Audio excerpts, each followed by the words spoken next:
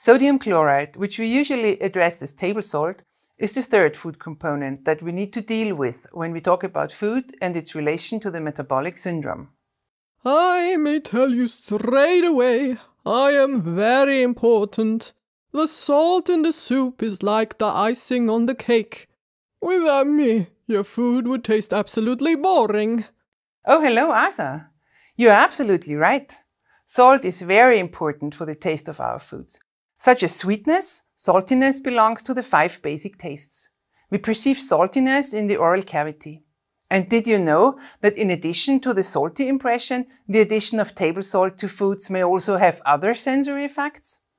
In low concentrations, salt addition enhances the taste of sour and sweet impressions. This is why we usually add a pinch of salt to a cake batter. Saltiness may also mask bitter impressions. As the salty impression is preferred to the bitter impression by many consumers, this behavior is often made use of in food industry. Furthermore, adding salt to food is a very traditional way to preserve the product. A high salt concentration in food deteriorates the living conditions for microorganisms. This has been made use of for centuries to significantly extend the shelf life of foods. This sounds excellent. So, where is the problem? The problem is that the consumption of high amounts of table salt is clearly related to high blood pressure. And as we have already learned in this course, high blood pressure belongs to one of the risk factors for cardiovascular diseases and the metabolic syndrome. Sodium chloride is essential for the human body. We need sodium chloride for the regulation of the body fluid balance, for the transmission of stimuli from muscle and nerve cells. It is an important constituent of the gastric juice and last but not least, it plays an important role for the regulation of the blood pressure. However, in our diet, the amount of consumed salt is far too high. The WHO recommends a daily sodium chloride intake of 5 grams per day. This is the amount that you can see on the spoon on the right-hand side. However, in most countries, the consumption averages between 9 and 12 grams per day. 10 grams is the amount that you can see on the left spoon. The occurrence of sodium and chloride is closely related to the occurrence and consumption of potassium. Potassium acts as a kind of antagonist to sodium. It is not only important to lower the intake of sodium in our diet, but to increase the potassium intake. If the sodium consumption is too high and potassium intake too low, the human body reacts with increased blood pressure and vice versa, Lowering sodium intake while increasing the potassium intake may reduce the systolic and diastolic blood pressure in adults. Then it is easy. We take potassium chloride instead of sodium chloride and the problem is solved. Good point, Asa. There were already scientists and product developers who tried to substitute sodium chloride by potassium chloride in several products. The problem is that potassium chloride tastes bitter as a consequence, we can only substitute of up to approximately 20% of sodium chloride by potassium chloride. Also, a substitution of sodium chloride with calcium chloride or magnesium chloride is not possible, as they also taste bitter. And the substitution by lithium chloride is not an alternative at all, as it is toxic to humans. But instead of talking about salt substitutes, let's have a look where we get our average daily 10 grams of sodium chloride from. You might think that we consume the largest proportion from the table salt that we add when we have the impression that it lacks in a dish. But this is not correct. 70 to 80% of the salt that we consume comes from processed foods. Main sources are bread and bakery goods, meat products and sausages as well as cheeses. Furthermore, many convenience products contain high amounts of salt. And we should not forget about breakfast cereals, crisps and chips and other salted snacks that we like to consume. But why is it so difficult to reduce the amounts of salt in different products? A reduction of the salt concentration does not only change the sensory impression, but has significant impact on different properties and the shelf life of the products. Let's have a look at the components of this sandwich. In sausages, for example, salt serves as a multifunctional ingredient. A salt reduction will lead to changes in the aroma and taste, the texture and the shelf life of the products. For many types of sausages, especially for dry cured sausages such as Italian salami, salt is required to lower the water activity in the product. Low water activity is necessary to control the growth of the microorganisms that would cause microbial spoilage. As a consequence, a low water activity is important for the preservation of the products.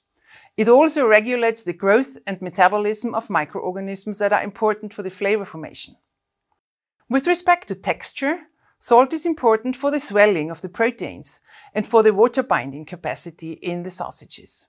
Significant salt reduction would require the addition of other ingredients that can bind water. However, it has been shown in several studies that this might change the hardness, the juiciness and the chewiness of the products. Cheeses also belong to the group of foods with high salt concentrations. From what we have learned so far, you will not be surprised to hear that salt reduction in cheeses does not only alter the sensory properties and the texture, but has significant influence on cheese manufacture, the characteristics of different cheese types, and the shelf life of the cheeses. Cheese is a fermented milk product, which is produced by the addition of enzymes to precipitate the caseins and by the addition of different types of microorganisms that are responsible for the formation of the cheese flavor or the formation of the holes in the cheese. Some of these cheese cultures, for example, those that are required for blue vein cheese, require high salt concentrations for their growth in the cheese. And for semi-hard and hard cheeses, such as Italian Parmesan, for example, high amounts of crystalline salts are applied to the surface of the loaf of cheese to form the rind of these cheese types. Bread is another very important source for dietary salt intake. As for cheese and sausages, a salt reduction in the products does not only impact the sensory properties, but has also consequences for their production. The addition of salt to a dough influences the development of the gluten structures, which are responsible for the viscosity and the rheology, as well as the water binding capacities of the dough.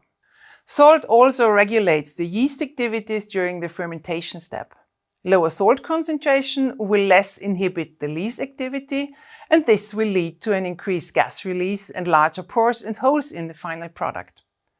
Finally, also in bread, the water activity is affected by the salt content. A lower salt concentration leads to a higher water activity and as a consequence to a shorter shelf life of the product. You might have had the chance to taste bread with a low amount of added salt. If you're not used to these types of bread, we think that it tastes bland and boring. However, we can get used to it. From all these examples, we can see that from technological point of view, the reduction of salt represents a high challenge for food industry, as salt plays a multifunctional role in our foods. Furthermore, as we have to cope with a large range of different types of products, there is no universal approach to solve this problem. New formulations or new technologies might be required to achieve adequate product characteristics and above all, the required shelf life of the food commodities. In future, changes in the applied technologies on the one hand and multisensory approaches and the search for salt boosters on the other hand will make significant contributions to solve this problem. For us as consumers and from our personal health perspective, there is an urgent need to reduce our daily salt intake. We've learned that it might still take a while until it will be possible to produce appropriate cheeses, sausages, and other products with reduced salt concentrations. In the meantime, we need to reduce the extra amounts of salt that we add to our dishes. Furthermore, and this is probably even more effective, we need to reduce the consumption of cheeses, sausages, salted snacks, and cereals.